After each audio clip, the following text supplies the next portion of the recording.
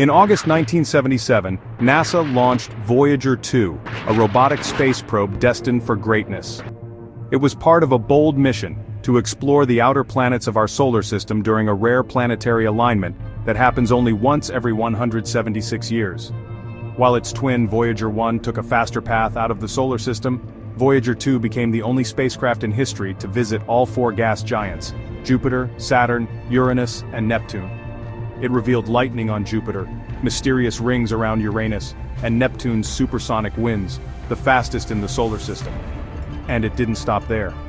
In 2018 after more than 40 years in space, Voyager 2 crossed into interstellar space, escaping the sun's protective bubble and entering the space between the stars. Today, it is over 18 billion kilometers from Earth, still whispering data back home, signals that take over 18 hours to reach us. It runs on a nuclear power source, slowly fading, but expected to stay alive until around 2026. And just like Voyager 1, Voyager 2 carries the golden record, a gold-plated disc with sounds, images, greetings and music from Earth, a time capsule for any intelligent life that may one day find it. Voyager 2 isn't just a spacecraft, it's humanity's outstretched hand to the cosmos, a silent explorer, still traveling where no one has gone before,